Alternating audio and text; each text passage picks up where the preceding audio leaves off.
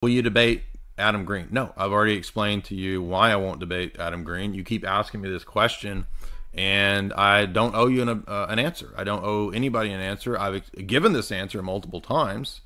Um, I don't see why I need to debate a person who makes Reddit tier arguments, who has no philosophical, theological uh, competence or training. Um, I've seen his argumentation. I've watched his videos. It's literally Reddit level stuff. It's the level of argumentation that I already dealt with in about four debates. Mark Brahman, Boglord Dave, uh, the pagan uh, that I uploaded the debate three months ago to the channel, uh, and one more pagan. I don't remember who the other pagan is that we debated. But why, why do I need to do that? You, I don't do. I'm not here to do this for you. I don't owe you a debate. I don't owe him a debate. And I'm sorry that you believe that his tier of argumentation requires some laborious uh, refutation. I mean, if if you think that his arguments are convincing, go do your thing, dude. This is not the place for you. I mean, this this is we do high quality content here. Uh, we don't have to spend all of our time refuting every dumb pagan atheist argument. It's the same reason I don't waste my time on people who have TJump level arguments. Do I need to debate everyone in TJump's server to to adequately refute atheism? No. Do I need to debate every pagan to adequately refute paganism? No.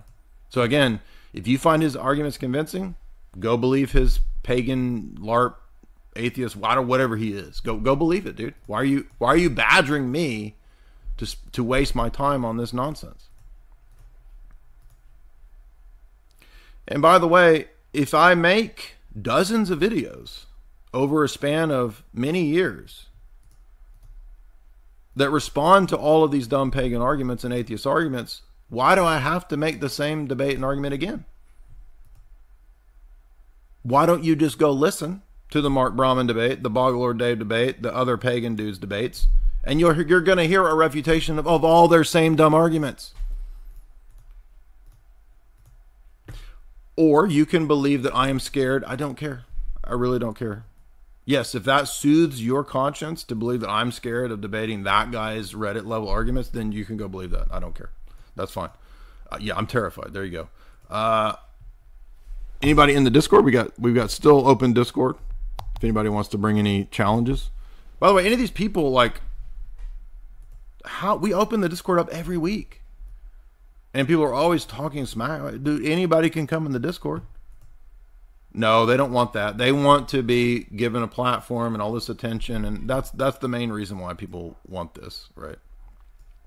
And I've already done enough debates that I I'm not I don't have to establish myself as a debater. Like I'm scared because I don't do every single debate. Uh, this is not 2015 where I haven't done any public debates, okay? If it was 2015 without any public debates, then maybe I would feel like I need to um, establish myself as a competent public debater. But we are many years and many debates into public debates. I don't I don't owe anybody any like I don't have anything to prove.